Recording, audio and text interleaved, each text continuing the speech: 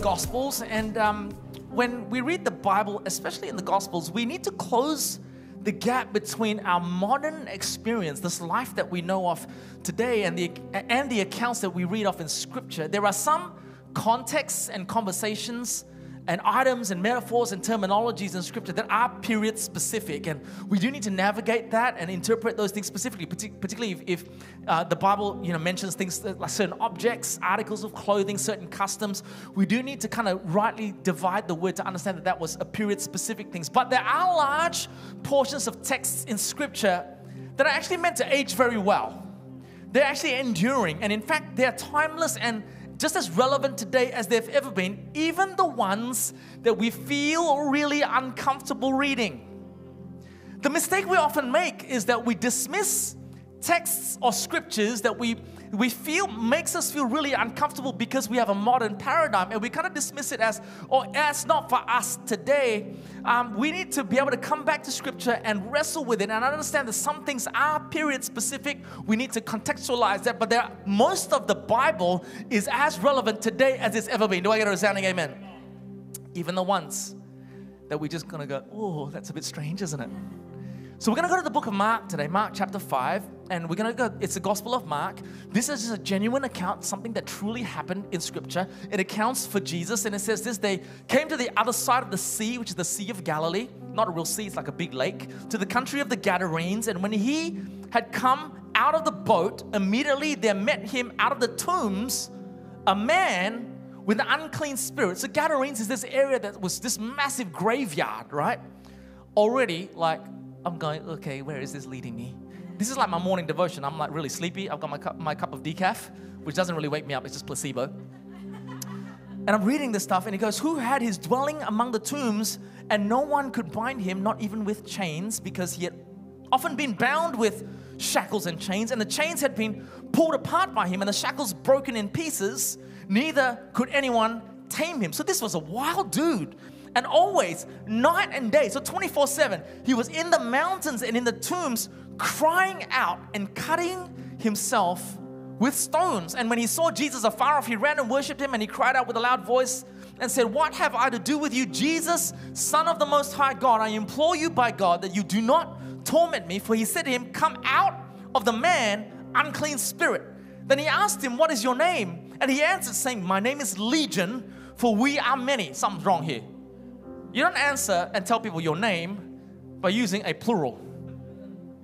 We are many. And also, he begged him earnestly that he would not send them out of the country. Now, a large herd of swine was feeding, or pigs were feeding there near the mountains. So all the demons begged Jesus, saying, Send us to the swine that we may enter them. And at once, Jesus gave them permission. What is going on here? Then the unclean spirits went out and entered the swine. There were about 2,000, and the herd ran, ran violently or stampeded violently down the steep place or the edge of the cliff into the sea and drowned in the sea. This is the weirdest thing I've ever read in Jesus' name. Amen. there is no question this is a freaky, weird, and altogether crazy manifestation of the power of Jesus. But how many of you know that there are a lot of things when it comes to Jesus are things that we actually don't understand. And today I want to teach you on the thought stewarding the encounter. Stewarding the encounter. It's important for us to understand that a lot of us can disconnect from scripture when we read it, particularly if it's something that we don't feel like we can relate to in our day and age. Now, I always encourage people that correct Bible exegesis, if you want to actually get the most out of scripture, is to insert yourself into the text. I have, God has blessed me with a really good imagination, so I often imagine myself in the text, right? I imagine myself being the 13th disciple. It's not biblical, but I imagine myself being that guy, right? Like I'm like the Klingon, like the, the 13th wheel, right? I am now in this account in Mark chapter 5, and we've arrived at the other side of the lake. I'm already traumatized. Why? Because if you read Mark chapter 4, you understand that while they were sailing to go to the other side, which is now Gadarenes, the account that we read, there was a storm and the boat was rocking, right? The disciples thought they were gonna die. Now, I'm, I'm not like Peter and Andrew. They were like, they're professional fishermen. I'm like an accountant by trade. So, me and Matthew, the tax collector, would have been hanging off the side of the boat, hurling. Oh, we're already mildly traumatized by the seasickness. We get to the other side, there's no time to debrief. It's a lot.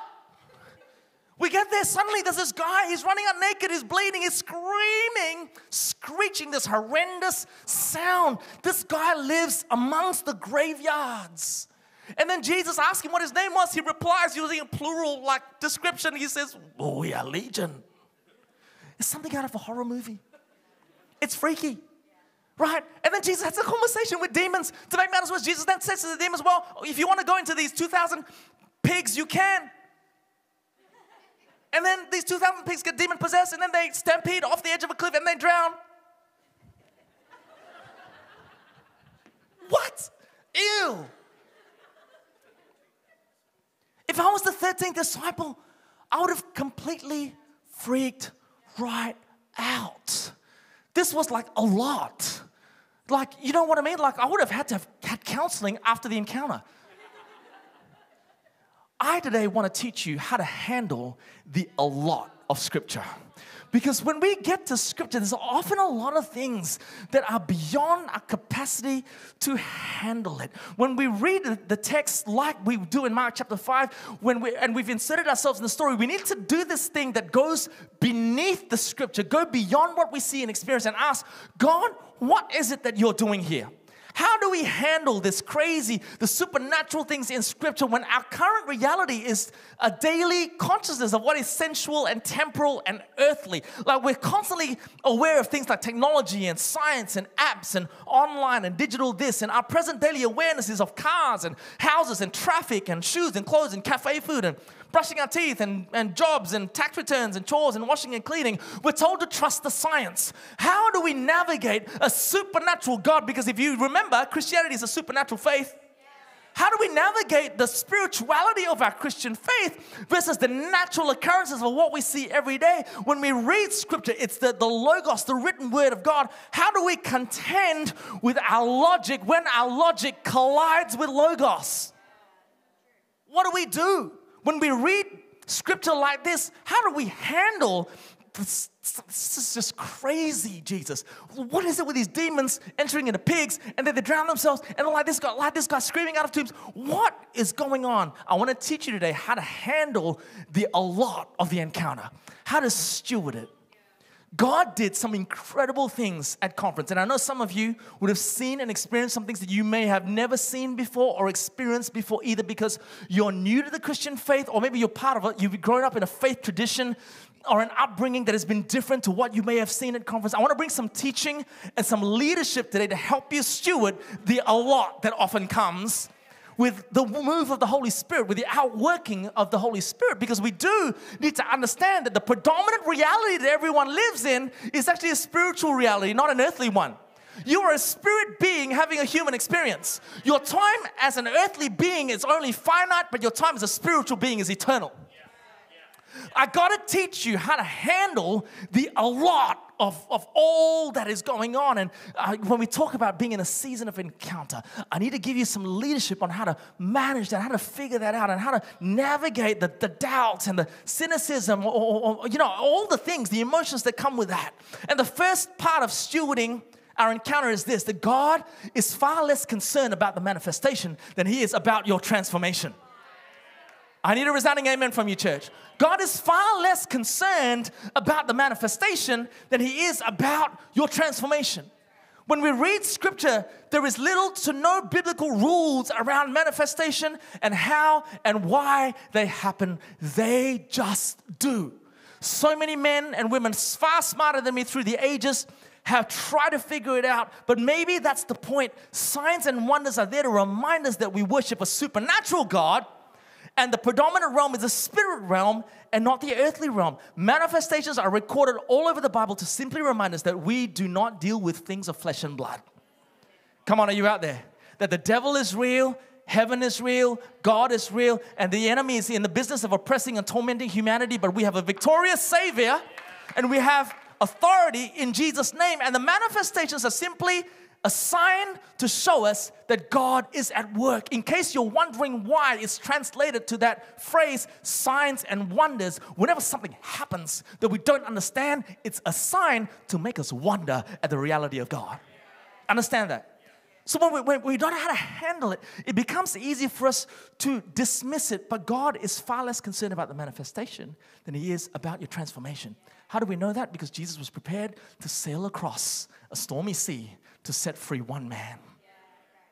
A man that society didn't want anything to do with. He didn't do it to create a spectacle, he did it to set a bound up man free. It's just that along the way, he just thought, in his infinite wisdom, it'd be an awesome idea to send demons into pigs to drown. I don't know what that's about. He just saw that it was necessary. And guess what? The early church fathers would have all read the original manuscript and thought, whoa, wow, let's leave that in there in the canon of scripture. Right? And it passed the stringent test of that actually needs to be in the canon of scripture. Thank God they didn't sit around the, the council where they were, they were looking at what, what is going to be in the Bible and not, and thought to themselves, well, I wonder whether there's going to be someone in Mount Pleasant in Perth in 2022 that's going to be a little bit freaked out by this. Let's remove that and give them a sanitized version of what. Come on. Thank God the Bible tells it as it is and reminds us that we live in a supernatural world. Come on, I need a resounding amen. We don't know why Jesus stops and has conversations with demons. Don't know why. Jesus spits on mud, puts it on a blind man's eye. I don't know why he lets Lazarus stay dead for four days. Why not one? Why not two? Why not 10 days? I don't know. Right? But the manifestation is not the goal. Your transformation is. Come on, any resounding amen. The manifestation is not the end goal. It is not, it's your changed lives. So, fall forwards, fall backwards, don't fall. Shaking, laughing, crying, standing there like a stunned mullet. That's not the point. The point is this are you letting God touch you so He can change you? That's the point. That's the question we all need to ask when we steward the encounter. Are we letting God touch us so He can change us? That is, is the only question we need to ask. Are you letting go of your cynicism? Are you letting it get out of the way so we can touch your life and heal you? Are you letting your religiosity get out of the way so God can do a deep work in you? Because at the end of the day, long after this demonized man at Gadarenes had forgotten about the crazy thing with pigs, he's going to go on walking in wholeness and freedom for the rest of his life. The manifestation is to simply show you that God is doing it and not man. Lest we thank our therapist, and I thank God for therapists, lest we thank the pill in the bottle, lest we thank human efforts.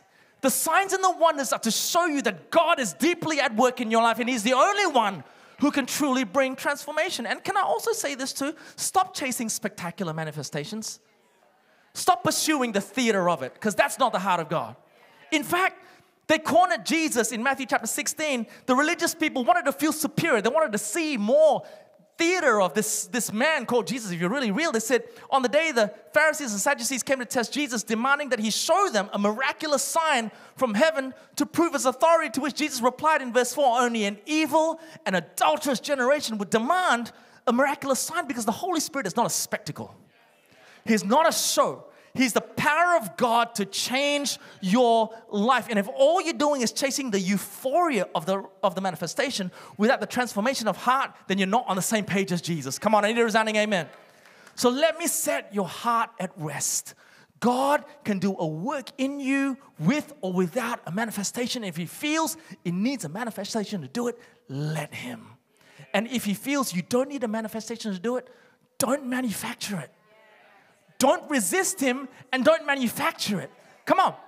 The second thing about stewarding our encounter is the other end of the spectrum of thinking is this God is more concerned about touching a person's life than about how comfortable we are witnessing it. Because I would have been very uncomfortable witnessing this at the 13th disciple. I'm already seasick, and now you got like demons jumping into, into pigs and stuff like that. It's freaking me out, Jesus. I just I haven't had time to debrief. But we need to let God do what God wants to do to set a person free. If it means sailing, sailing across to the other side of the sea and doing all of that sort of stuff, so be it. Because I don't think Jesus cared how uncomfortable it made the disciples feel or even the pig farmers. Because if you actually read Mark chapter 5 in verse 14, it says the pig farmers actually fled. I would have fled too. It's freaking. Can you imagine 2,000 pigs and the noise of demonized pigs stampeding violently off the edge of a cliff and then drowning. If you thought what some of you, what you saw at conference was strange, you would have lasted two seconds with Jesus. There was some strange stuff happening all throughout scripture. What is with Jesus walking on water in John chapter 8? Spits on mud, rubs it in a dude's eye. In Mark chapter 7, there was a deaf and a mute man. Jesus thought it'd be a fantastic idea to stick my fingers in his ears and spit on his tongue. What is with that? Acts chapter 9, right?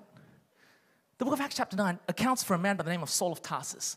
Saul of Tarsus was like the, a zealot of he was the most zealous zealot out there. He was like a religious Pharisee that was persecuting Christians. And he has an encounter with Jesus that literally knocks him off his feet in what we would call being slain in the spirit. He's on his back. This was a guy that prided himself on staying standing while Christians that he was persecuting were on their knees being stoned. Jesus knocks him off his feet. He's now flat on his back on the road to Damascus. He has an encounter with Jesus, no catcher. I can see all you lawyer types thinking, oh man, that is a lawsuit waiting to happen. No incident reports being filled whatsoever. Acts chapter 9, verse 7, it says, And the men, his entourage, the men who journeyed with Saul of Tarsus, stood speechless, hearing a voice but seeing no one. Then Saul arose from the ground, and when his eyes were open, he saw no one, but they led him by the hand and brought him into Damascus. And he was three days without sight and neither ate nor drank. Three days, he was blind. Imagine having that kind of encounter. You'd be complaining to the church for sure.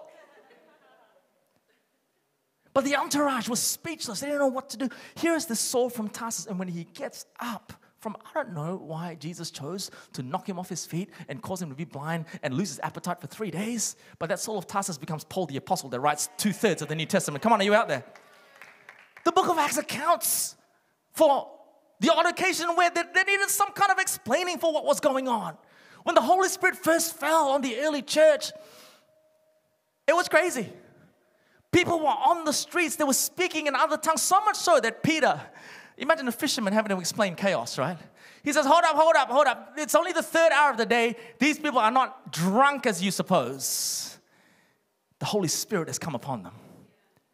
So there are times when these manifestations occur where we just don't know why or how it happens. But what I'm saying is this it challenges my religiosity and my need for control. And there are times when we see and read and experience things that is illogical, it's unnatural, it's uncontrollable, it makes me feel uncomfortable. But God is far less concerned. God is more concerned about touching a person's life than about how comfortable we are witnessing it. And if it means, see, see, what am I, what am I saying? I'm saying this. Don't chase the weird and wacky, but don't be religious either. Yeah. Come on, are you out there? Don't try and manufacture it and try and make it happen, but don't crush it and quash it either and dismiss it. Just do what God wants you to do. And it's on this third point of stewarding the encounter simply this pursue what's real. Come on. Pursue what's real. When we say at Nation Church, we're about the encounter, we are leading our people, you and I, need to pursue what's real and let God take care of the rest. The third part of stewarding your encounters, pursue what's real. Always ask yourself, am I pursuing intimacy with Jesus? Am I pursuing more of Him? Am I developing a hunger for Him? And, and am I developing a hunger for His reality? If you're pursuing what's real and you end up feeling like electricity is shooting through your body and you're shaking like a leaf or you're standing there like a stunned mullet, it doesn't matter because you're pursuing what's real. Come on, are you out there? You might be crying uncontrollably. You might be laughing uncontrollably. Yo, I don't know what, but don't you dare quench what is holy, but don't you manufacture what isn't real either. So, having said all of this, my exhortation and encouragement to you in stewarding the encounter is simply this don't be religious, but don't be a weirdo either. Pursue what's real and allow what's real to take root in your life and manifest itself how Jesus sees fit. Helpful to you guys? All right, well, we've had our encounter. What next, right? So we're gonna go a little deeper. What next? I'm a really practical guy, so I'm gonna give you some practical tools. Is that okay? You're gonna get some meat and potatoes, like home cooked meal tonight. Is that okay? So you've had your encounter. God has touched you, He's healed you, He's set you free, He's delivered you, He's given you prophetic words, spoken you into spoken into your life. What next? The what next is so important. It will make or break what happens in the next steps of your journey. And the first thing that I always do whenever I've had an encounter with God, God's spoken a prophetic word over me, I've, I've sensed something in God, He's done a shift in me, a transformation of sorts, set me free from something, is this I check the soil of my heart. Check the soil of your heart. Luke chapter 8, Jesus talks about the different ways a person can receive something from God. God is the sower, there is an impartation, there is a deposit, there is a word, there is a vision, there is a calling, there is a purpose, something. God is the sower. The receiver has to check the soil of their heart. Luke chapter 8, Jesus says that there are four different grounds or soils or conditions that decide what happens with what God has done in your life. And the first ground or soil is the wayside or the pathway ground. This is the resistant type of ground where the ground is so hard that the seed does not penetrate into it, and the enemy comes and takes away all that the sower sows. In other words, like in the middle of an encounter, you're already doubting, you're already batting away. This can't be of God. This God is not for me. I'm not worthy. Is that resistant part of you that, that rejects out of hand the sowing of God into your life. Follow me so far. The second soil of your heart is the rocky ground where Jesus said, This is the kind of ground that is, is pretty shallow. Like it, it doesn't go deep. The, the, the roots don't go deep. We receive the encounter with joy, but you don't really sit with it. You don't really meditate on it. You don't really stew on it. Like you've, you've had your encounter with God and bang, straight away, like you, you flip, bang, you're out there having lunch, just, just being silly all over again, right? So you, you just let it pass and you just feel like, oh, it, it was nice. And the next time temptation comes, right, if you, you, you kind of just cave in again because you undo all that God did to set you free. Follow me so far. The third ground is the thorny ground, and that's like the cluttered or the busy ground. You know how you've had an encounter with God and you have great intentions to kind of do something with what God has spoken to you about, but then come Monday, y'all get busy again. You guys getting real quiet. You guys get real busy again. It's back to business as usual. You clutter up your diary with stuff that doesn't really matter. The, Jesus actually says this the, this thorny ground is when the seed is choked with cares, riches, and pleasures of life. But then there's the fourth ground, which is the good ground. In Luke chapter 8, it says this, verse 5 But the ones that fell on the ground, on the good ground, are those who, having heard the word with a noble and good heart, keep it. That word keep it is to tend to that, that word is like a bit of a gardener. How they would, I've never done this in my entire life, but how they would care, someone would care for a pot plant. I don't know how that works. I've seen it on YouTube. It's not worked for me so far, but I'm going to try it. We need to like, put it in a nice spot, water it, and fertilize it and stuff, and tend to it and things. This is what you do with your encounter. You keep it, and then it bears fruit with patience. You steward the encounter by allowing your heart to be good soil, good ground, where you keep it, you tend to it, and over time, it'll bear the fruit that God intended for it to bear in your life. And here is amen. The second practical, this the second thing to do uh, when you're stewarding the encounter, what next, is to take practical steps. I'm a practical guy. You need to have practical steps. Just about every encounter in the Bible was followed by actionable steps by the person who had that encounter. This kind of blows out any kind of theology where you think that the encounter is for your euphoria. The encounter is not so you can feel good, but it's to put a plan in place for your life. Moses didn't have a burning bush experience just so he could tell people about the burning bush and feel awesome about it. The burning bush sent him back to Egypt.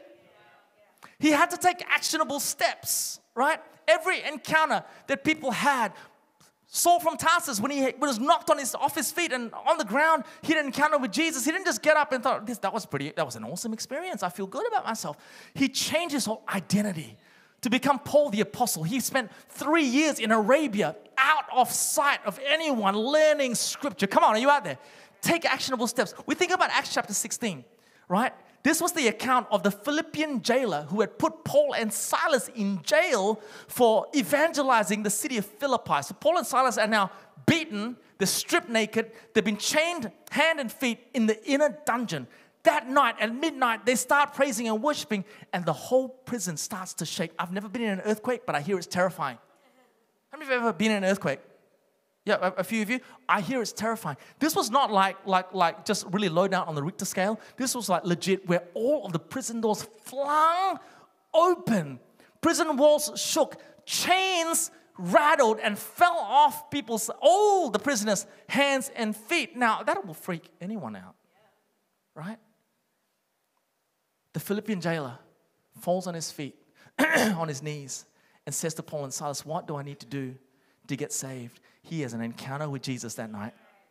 And then it says this in verse 22 Then they spoke the word of the Lord to him. So Paul and Silas spoke the word of the Lord to the jailer and to all who were in his house, and he took them the same hour, that same night, and he washed their stripes, did something practical, took practical steps, and immediately he and all his family were baptized. Now, when he had brought them into his house, he set food. It was the first hospitality team of the Philippian church right here. He set food before them, and he rejoiced, having believed in God with all his household. He took practical steps. I reckon Paul and Silas would have found a way, Ty, to do a life found course with him, like and his family. Told him about Jesus, told him about the Holy Spirit, got them baptized with water. They took practical steps. I don't know what God has done in your life across this last season of encounter, but you need to start taking some practical steps. Are there apps on your phone you need to delete? Are there websites you need to cancel off your search engine? Are there TV shows? Are there things that you need to unsubscribe? Is it like setting an going to bed half an hour earlier and setting your alarm half an hour earlier to wake up and spend time with God? It's not very popular, is it? We like the spectacular, we don't like the practical steps that sustain the encounter. Right? Do you need to have a conversation with someone and say you're sorry? Do you need to offer forgiveness? Do you need to reconcile and restore? Do you need to do a life found course and actually fill in those gaps and go, oh man, I've been coming to church for 20 years, but I, truth be known, my foundations are really weak. Do something about it. Can I go a little deeper with you? For those of you that have received a prophetic word, how many of you ever received a prophetic word?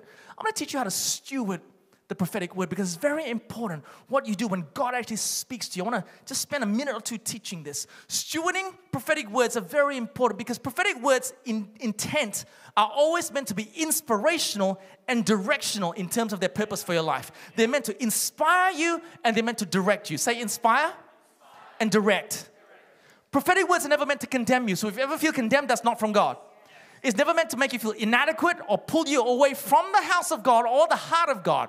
If you ever feel yourself tempted because of a prophetic word to pull away from community and the house of God and his heart, that is not from God either. They're meant to inspire you to a higher calling and purpose in God and give you direction. But what prophetic words do not do is to fulfill the prophecy for you.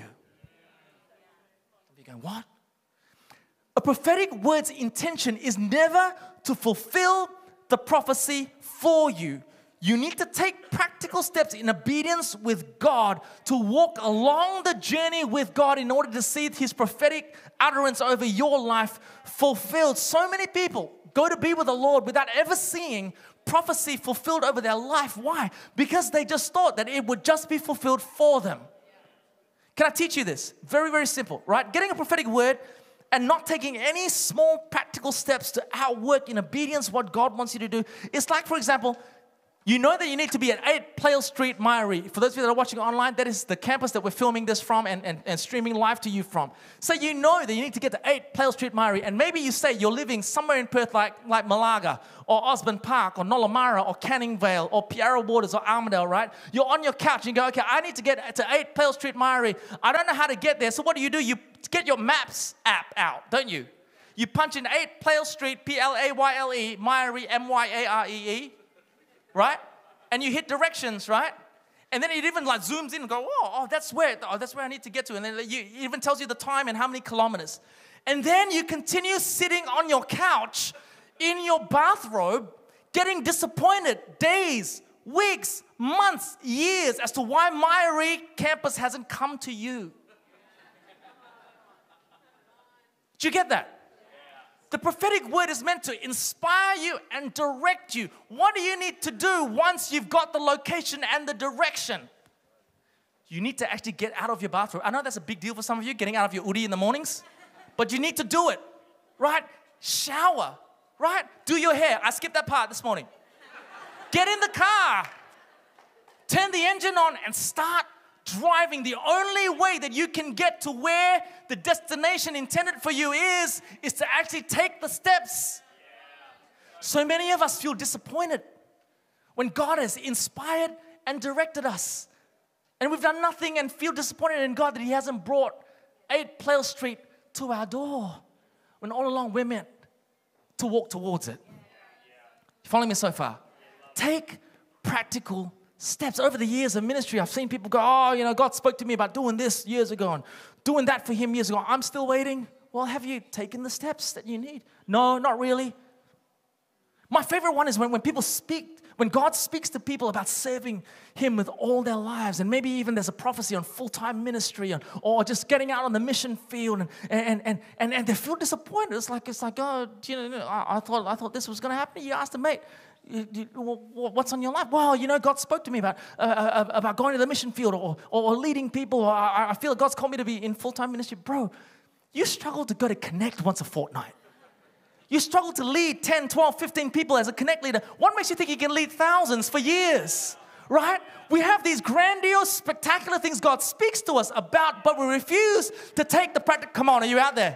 We refuse to wash the stripes, feed people food, and we wonder why revival doesn't come. Come on. We like the spectacular, but we don't like the practical. I remember a season in my life where I loved being an accountant. It was a good season in my life.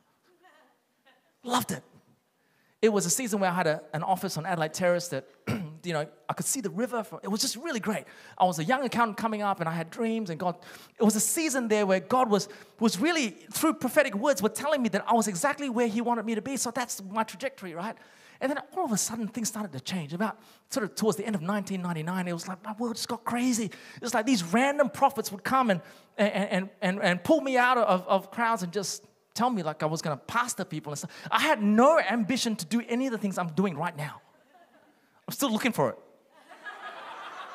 Like, but I had, like, was no grid for it. There was no grid for it. And like, this, this, these guys from America would come in and they, they, would say this stuff about like, you know, you're gonna be in, in, in full-time ministry. And like, what? It's like, I'm doing my CPA, God. Do you understand? You understand how many student loans I have? I've racked up a lot of HECS debt, right? But God just began to speak, and I just, I didn't know what to do with it. A spiritual father of mine just said, Ken, just take practical steps with no agenda. And so I thought, okay, well, I was like worship leading once every every couple of weeks. I just thought I want to roster myself on every week. I'm just, I'm gonna, I'm, I've, got, I've got time on my hands after work. What, I'm what am I going to do? I'm going to take on a life group. One of my ex life group members is actually here. And um, we call it Connect Groups now. It was crazy back in those days. I had no idea what I was doing, but I did it anyway right? I just took practical steps to just do all of the things that I needed to do to serve Him with no agenda. Oh, the reason for that is maybe, I just thought to myself, maybe, just maybe, if whatever it is that God spoke on my life was actually to come to pass, I didn't want to be pantsed and un, unprepared for it. I was going to do what I needed to do to take the small steps. If it never gets fulfilled, that's not my business, but I'm going to take the small steps that are required to steward the encounter. The reason why ultimately, and I'm going to land this, that we need to steward the encounter is simply this that every encounter always leads to purpose. Every encounter always leads to purpose. Think about it for a second. We don't know why, Mark chapter 5. Jesus, why would you even talk to demons? Why would you even give them what they asked for, which is going to go into pigs? it's a waste of bacon, if you ask me. Have you seen the price of pork lately? Legit, right? 2,000 pigs off the edge of a cliff. See you later, gone. Right? That is a lot of crackling, a lot of good crackling. Do I any pork lovers in the house? Oh man. Roast pork belly with a crispy skin, gooey layer of fat, then the meat, really salty on top. Chinese five five span on the bottom. Oh man. Noodles or rice, it doesn't matter. Just just load it on there. It's a waste, 2,000 pigs. Oh, you know, it would be easy for us to kind of go, okay, that was a spectacular encounter, spectacular manifestation. Great. He got his freedom. That's great. Fantastic. We were happy to leave it at that and go, well, Jesus heals and sets people free. Oh, yeah, that's enough to write a song about. It's amazing, right? But it doesn't end there because it says in Mark 5, verse 18, and when he, being Jesus, got into the boat, he's now back in the boat wanting to sail back, right? He who had been demon possessed begged him that he might be with him. In other words, Jesus, I want to cruise with you. This was so awesome. This experience, this encounter was so good.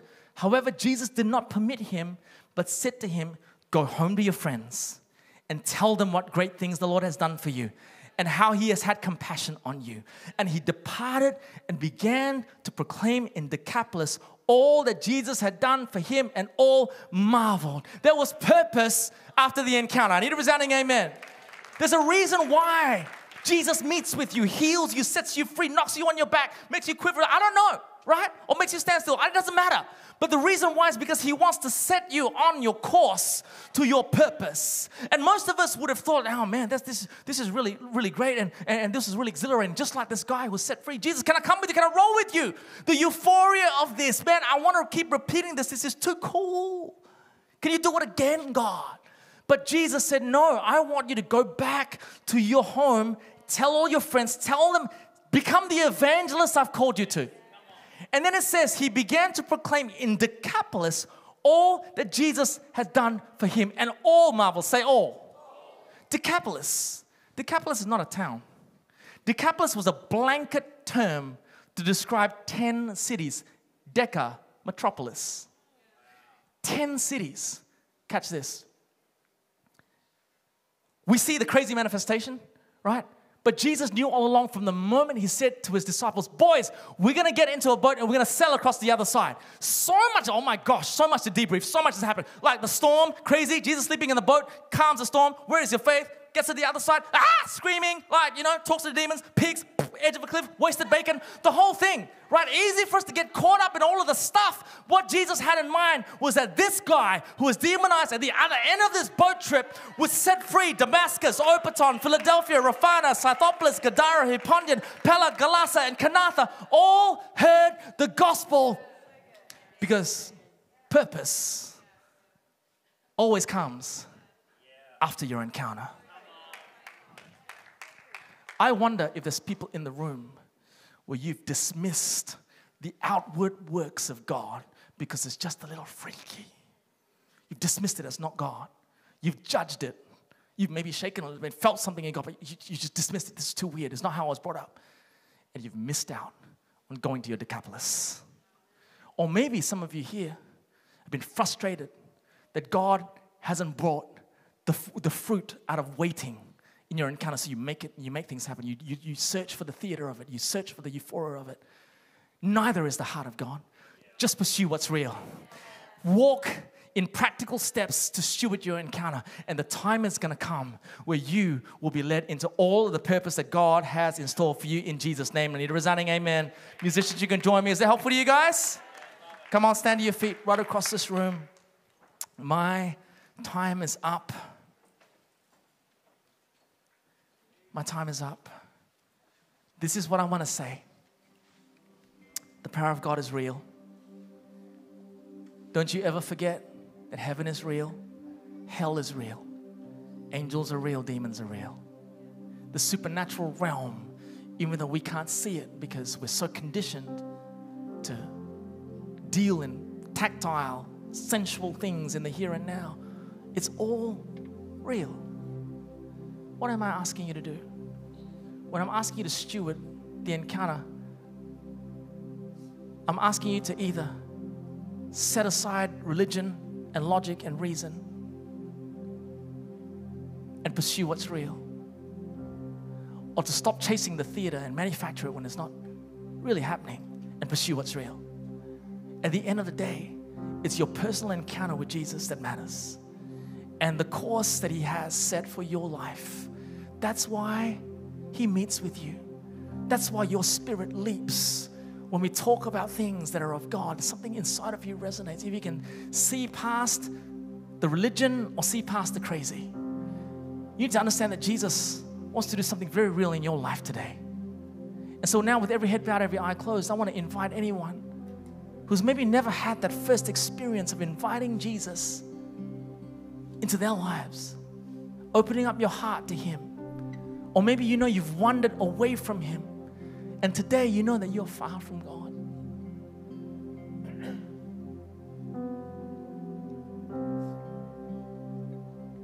And if you were to be honest, you're not really sure of what your eternal destiny is going to be. Friend, the only way that you can be assured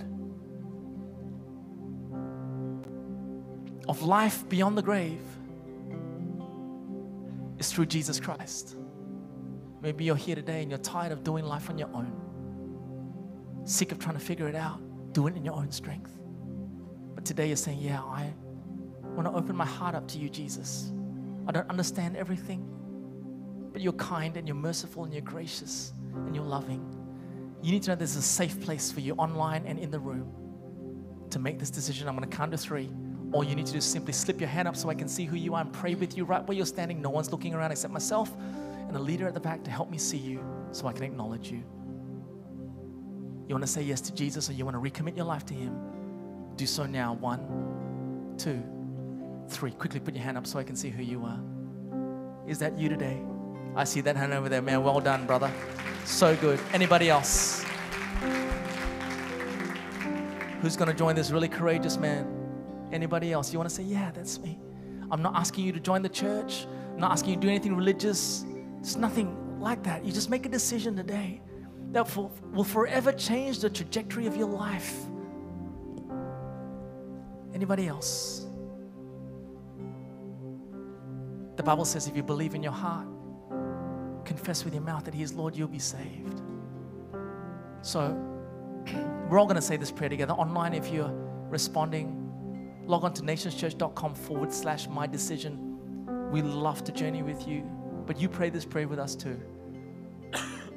Dear Lord Jesus, we thank you that you died and you rose again for me. Lord Jesus, I ask you to forgive me of all of my sins and wipe away all of my past. And Lord Jesus, I invite you into my life as my personal Lord and Savior. And I thank you that from this moment on, I'm a new creation and have a new future in you. In Jesus' name. And everyone said,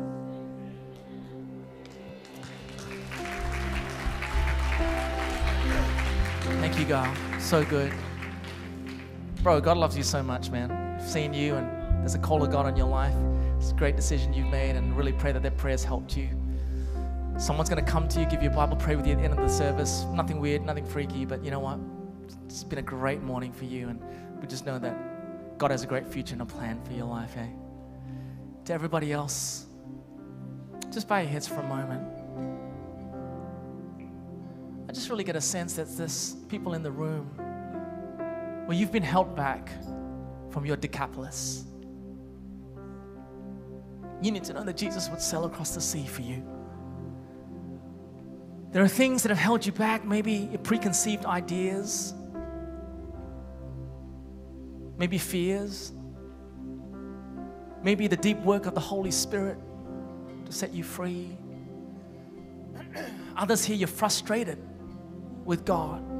There are things that has been spoken over your life that have not been fulfilled and you've tried to make it happen in your own strength.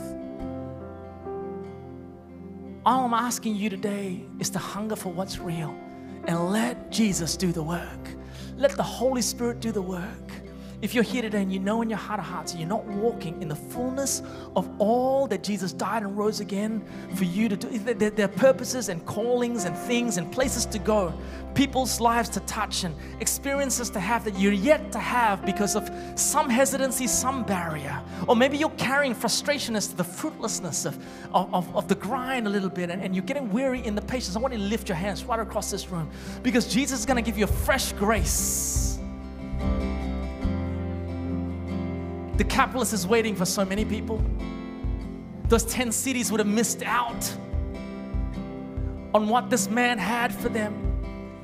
Had the disciples been real all cynical and thought, man, this is too freaky, the, the pigs thing off the edge of the cliff, Jesus, can we sail back? Can you just stop? But Jesus was far more concerned about what was at the other end of all of this. And the signs and the wonders and the manifestations was simply to point to a supernatural God that is at work in your life. The greatest tragedy for every believer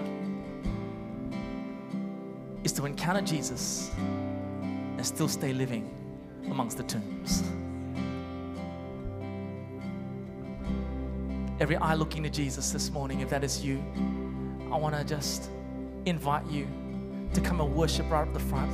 Don't respond to me, but respond to the Holy Spirit just to say, I want to take the steps in obedience for whatever it is that you've spoken in my heart as we sing this song. You come quickly. I want to pray with you. Come, come, come.